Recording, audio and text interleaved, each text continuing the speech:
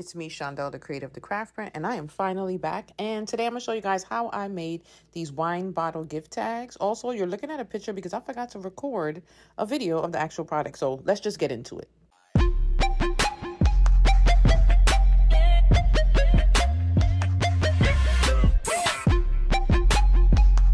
and getting our SVG file. You guys see it here for $2 and I'm going to have it linked at the bottom in the description. Now, obviously, you're going to add the cart and purchase. Then, once you download it, we're going in Design Space. And I'm going to walk you through the steps to uploading it, how to change your lines to score, and then we're going to cut and assemble. So you're going to go to your uploads right here on the left side. Click on uploads. You're going to go to upload image and then browse. And you're going to search for that SVG file that you just downloaded. It should be at the top of your download. It's not at the top of mine because I just, I didn't just download it. It's been here for a little while. So I'm going to select that file. Then I'm going to go to open down here in the bottom right. And this is how it comes in in design space. Because it's already an SVG, you're not going to go to the space where you have to edit anything. You can change the name here if you want to change the name and tags, which are optional. But these are the tags that when you're searching all of your uploads, you'll find this under. So if you want to do wine, um, bottle, different things like that. Then you're going to click on upload. And then it goes here to all of your uploads. You're going to select it, come back at the bottom, right? And then you're going to add to canvas. Okay, so now that we're here, this is the size we want it to be. The first thing you're going to do is ungroup it. So at the top right up here, you see these two squares together, that's ungroup. You also have the option to right click and ungroup there. Now, do not move anything. Do not touch anything. You're going to be very careful when we're doing this part because we don't want to move the lines. So first you're going to click this square right here and just move it to the side. That's for our acetate sheet to do the little window.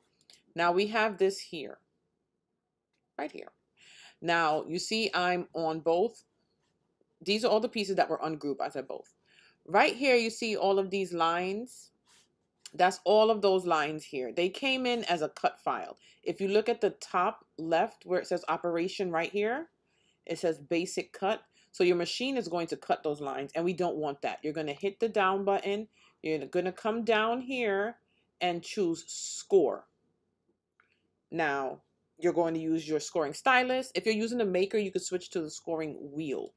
Now, what you're going to do is highlight all of this. Don't move anything. Don't move anything. We want those lines to stay right there. And then you're going to come down to the bottom right and click attach. Now, what attach does, it's telling the machine to cut on this paper and then score the lines on the paper. If you do not attach, it's going to send your score lines to a separate mat and then this cut file to a separate mat instead of doing them together. Now here you're going to click on save because you don't want to lose your stuff or have to do this all over again. Then you're going to save your project under whatever name you want to save this as so you could come back to it all the time. Then once you do that, choose the machine that you're using right here. Out of all the machines, we're using the Cricut Maker 3. Then you're going to click on Make. Now this is sending it to the machine. You see we have our separate mats. On this mat is telling it to load that cardstock and score those lines.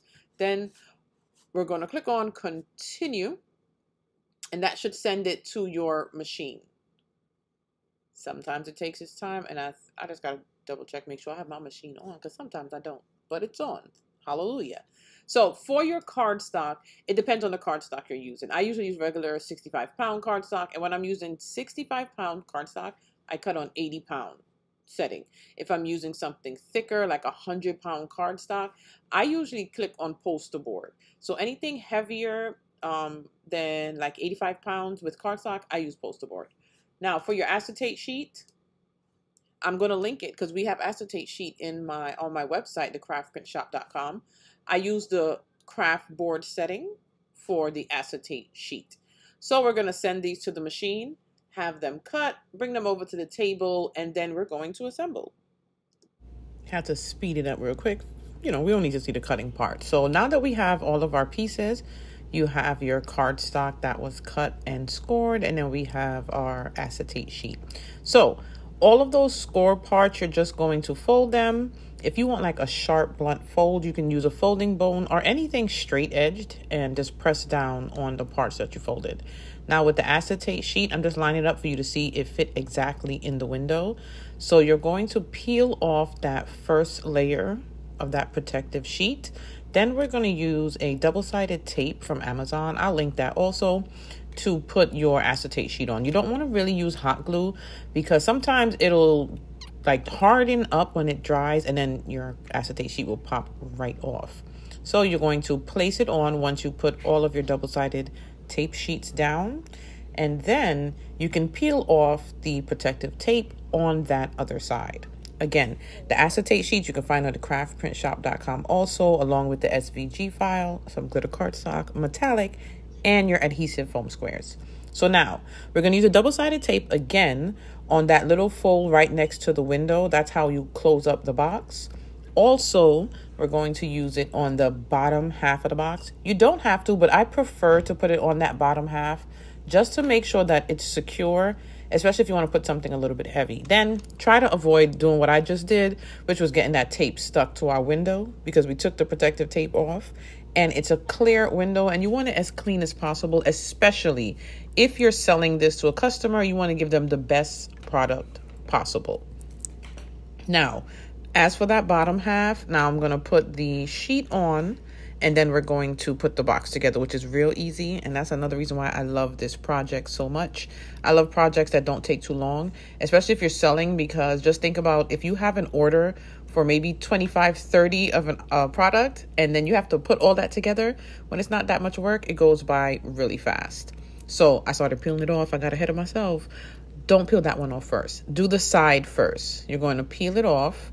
If you're peeling and it seems like it's not is like completely coming off, just press down a little bit harder. You want to line up the box before you press the tape down because this tape is really good and it's going to stick. So I just fold it and press it down a little more. And that's it. See how simple this is? Peel that other piece off. You're going to close it up. I put my hand in through the top just to help like press it down right there. See that? And that's it that is it. The top piece I don't obviously um, stick together because you're going to put whatever you want in there. You could put donuts, the Ferrero Rochers, candies, whatever. It's cute. And then hang it on a wine bottle. Now, we also have with a different window. Um, you can get that file on the website too. We also have the rectangle shape and we have them without the window. So I have the square ones also without the window as well if you would prefer that too. And for those who just fully decorate it. So this is how you would decorate this.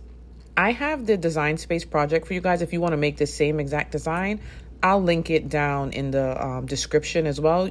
You can go straight into design space and cut those pieces for yourself. And if you're not into like all that fully decorating stuff, go buy some stickers from like Michaels. I found these two packs at Michaels and you just take them off. They have like a little foam sheet behind them too and then stick them on the box and you can fully decorate it. Or if you don't want full decorations, you can put vinyl and put the name in the middle, or even make a sticker and place it in the middle. There's so many options, and this is a very popular product right now. So for gifting and for selling, it's perfect. So if you make one, don't forget to tag me, the craft print. I love to see you guys make things also. This one is another one. It's really cute. It's little envelopes and you can just line it along the bottom. It's solely up to you. But I would say if you're selling these, people do want them just blank, but also people like to see something a little different. So decorate them, make different things, sell them, and have a good time.